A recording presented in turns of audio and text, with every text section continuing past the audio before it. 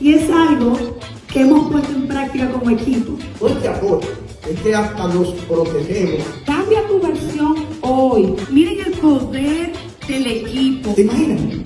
Entonces el beneficio no es solamente para el desarrollador. Cada día más estoy más enamorada de la empresa por lo que voy creciendo como persona.